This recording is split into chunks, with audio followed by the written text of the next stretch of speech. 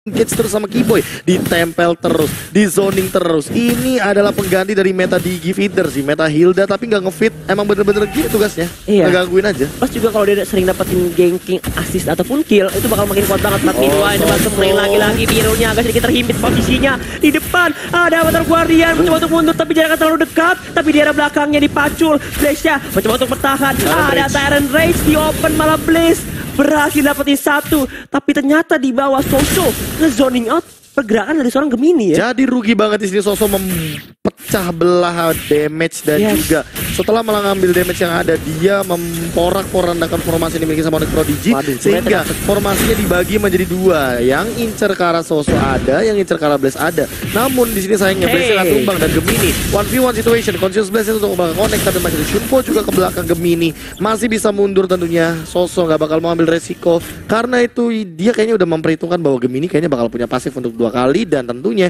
ketika pasifnya udah nyala ini bakal jadi kerugian buat seorang cowoknya. Tapi Keyboy sendiri di depan sana Tyrant Revenge keluar tentunya mencoba untuk bouncing ball Wind Blow keluar langsung ada Birul juga dalam keadaan wall form tapi dia tidak memiliki buff untuk menit yang kelima kali ini. Oke, tapi sebentar lagi nampaknya dari seorang Skylar udah level 9, unggul satu level dari seorang Birul walaupun ya hitung-hitung sama-sama ke takedown ya. Tapi kali ini di arah bottom lane Soso berhasil memanfaatkan segala ruang yang diberikan dan dia dapetin turret. Ini dari segi side lane sih turretnya menang Araki Sena ya. Gimana Yami dapetin top, sedangkan Soso juga dapetin bottom ya. Tapi kali ini Tarto sudah mulai diinisiasi terlebih dahulu Set oleh up. tim Onyx Prodigy. Oh, Tyrant Revenge Etufo langsung mengincar ke belakang sana. Uh, Tartelnya victory tentunya dengan retribution Blazing keluar langsung kena tiga dan ternyata di belakang sana covernya harus down. Esmeralda juga bakal ditukarkan begitu saja. Skylarnya masih aman dalam posisi 4 melawan 4. Tapi kali ini Keyboy ngejar langsung ke arah Skylar di engage sama Yami. Ada flame shot dari Blaze-nya juga. Coba untuk mengambil mid lane sepertinya tapi Well, Skylar untuk mengamalkan Turtle dengan Retribution adalah pilihan yang cukup bijak karena Birul dia tidak mendapatkan Retributionnya di Dia menggunakan Purify karena dia respect terhadap damage daripada seorang atau stun daripada seorang Etufo. Oh, Tapi tentunya dikejar. lihat Birulnya ada Wind Blow juga Yami dalam ancaman. Concentration digunakan langsung dipacu. Wow, of Oh. Wildness dan ternyata oh, Yami masih bisa survive. Oh my god dengan darah yang sangat tipis berkat adanya ya consecration dan juga transcendent one ya. Bisa bertahan tapi kali ini menit ke-7 udah jadi DHS-nya Oh, lihat damage-nya bro. Dari seorang. Skylar Michi langsung ke Maipan langsung dibayar lunas. lunas itu benar-benar langsung lunas. Dan kali ini lihat di sana Gemini. Coba untuk ngincar karena Skylar Skylarnya langsung ketahuan di depan sana. Langsung coba untuk like and punch tapi nggak kena daripada seorang Birul. Ah. terlalu jauh posisinya dan lihat Gemininya dikasih payung pusing itu meriang. Payungnya udah mulai tajam kali ini Skylar udah mulai masuk. Tyrant Rage kena dua Abdul Guardian dan Skylarnya masih bisa mundur ke arah belakang. Birulnya! Like and punch-nya terciduk begitu saja terbait sampai dengan nyebrangin river di depan Gokil. sana Itu pancingannya sangat luar biasa sih kena mirror image tapi lihat dari belakang Soso muter. Dua Dragon. yang konek karena seorang pun. dari depan. Satu, down tapi lihat di depan. Masih ada wind blow, wind blade juga sangat menyakitkan. Datang Kagura, Oh, Blaze-nya no.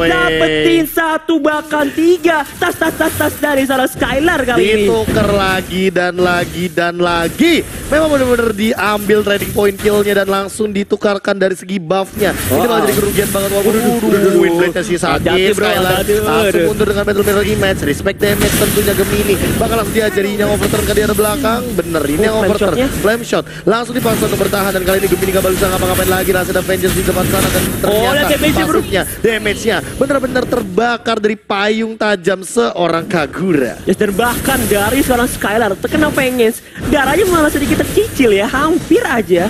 Kalau dia paksain buat ngincer itu malah dia bisa ya kurang lebih ke takedown. Tapi kali ini di mana dari seorang Skylar habis team fight dia langsung memanfaatkan ini dengan adanya ya Tartar yang spell sih. Yes.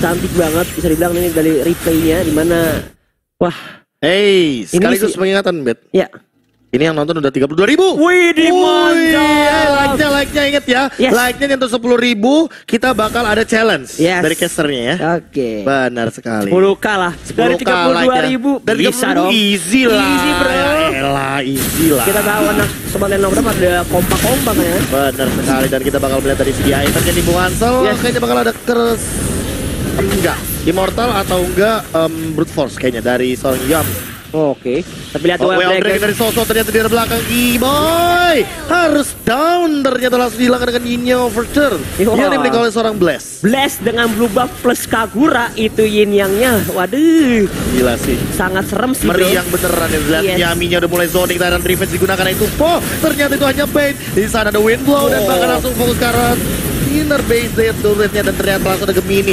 Unbreakable Eh, keluar eh, dan ternyata sakitnya terlalu sakit daripada seorang Gemini. Memang itu yang aku bilang counter dari Cloud adalah Gatot Kaca tapi di belakang sana Yaminya masih bebas. Sosok incoming main pan ternyata dari Revenge gak bakal bisa menahan damage yang cukup banyak. Purify Oh, sudah digunakan juga daripada seorang Birul Birulnya harus down dan di sini tiga harus hilang dari tim Prodigy. Dikasarin lagi sama payungnya dihajar sama Rashor udah lovely. Walaupun buffnya udah nggak ada tapi lihat impact damage yang benar-benar gede banget daripada seorang Blast. Wah gila sih, tapi emang gak disangka-sangka ini nice banget. Avatar Blue Guardian dari seorang Gemini, dia objektif mengincar ke arah Skylar. Di mana Skylar udah tadi kalau nggak salah sempat pakai mirror image, tapi emang jaraknya terlalu deket ya. yes dan itu Avatar of Guardian-nya langsung kena duluan Ya, ditambah dengan pasifnya ternyata dia lebih dari 50% jadi damage bakal lebih sakit lagi dia aktifin Vengeance. yes Vengeance aktif juga dari segi emblemnya Blast. ya kan? Diamankan itu bakal semakin sakit plus emang pasifnya ya dari Gatot Kaca itu super banget damage-nya sih. Ya, dan ini basic dem- eh, basic gameplay dari Yami. Di mana Uranus seperti biasa ngumpulin stack, tapi cara zoningnya sih yang aku bilang ini Gila. appreciate banget sih. Dia zoningnya tuh nggak nggak kayak yang nanggung-nanggung gitu loh. Yakin sekali. Yakin sekaligus ya udah teman-temannya Iya. ikutan juga. Makanya Etufo kayak gampang banget buka team fight-nya. Ya, karena berkat ini sih sokongan dan dukungan yang sangat mantap, ya kan? Iya. Dari segi side lane-nya dia udah dapetin dua turret di arah atas, ya kan? Udah enak banget untuk Oh. melakukan push triple recall. Recall. Weh, untung nggak ada orang di situ ya. Kosong banget. Hey, Ah, Keyboy mau sih. ke mana? Itu flick Oh, nice. Keyboy Nice. ngegocek dengan gameplay yang sangat-sangat menarik. Time banget lah, gimana mau lewat? tembok PR juga tuh. Iya. Wah. Waduh, dan Lordnya juga mulai berjalan kali ini dari arah bottom lane. Profesor KB. Waduh, ini bakal menjadi tekanan lebih besar karena dari segi keuangan juga berbeda bisa dibilang cukup jauh sih. Ini Yami lagi sih kayaknya kan lihat baitnya di depan. Biar Etufonnya enak gitu bukannya. Lebih bebas lagi ya. Lebih bebas. lebih bebas. 10k gold lead dipegang sama Anarchy Sena. Oke, Skylar udah mulai muncul, Windblow, Connect, Soso masih mencoba untuk bertahan dan kali ini lihat Blast-nya di depan sana mencoba untuk ini yang overturn. Nah, dan Resha Connect karena seorang biru birulnya karena kena bouncing ball dan harusnya tumbang tapi nggak bisa kali ini ada blessing dua Oh my God. dan kali ini bahkan langsung dibalikin begitu saja monster kill diamankan sama seorang Blast dan balik lagi Rave-nya harus mundur. Dia nggak punya slot damage yang banyak. Birul nggak punya apa-apa lagi. Bouncing Bouncing ball ball. Purify masih ada tapi kali ini yang overturn yang kedua. Incoming daripada seorang Blast yaitu Po masih punya immortalnya. Soso berfokus sama top turret dan lihat base turretnya sudah dipelucuti dan bahkan hanya tersisa base-nya saja. Birul mulai kebingungan. Mau Eh, minion atau hero langsung. Tyrant Revenge kali ini disokong Oh, damage dengan. Wild Blow dan ternyata masih ada Windstorm juga. Polik Starmoon connect ke arah satu tapi di sana ada Blazing Duet incoming daripada seorang Oh. Skylar namun Rave-nya masih bisa survive. Lihat nggak kena. Dan Hey. base-nya langsung diajar sama Rarky Sena Oh my god, 1-0 kali ini. RRQ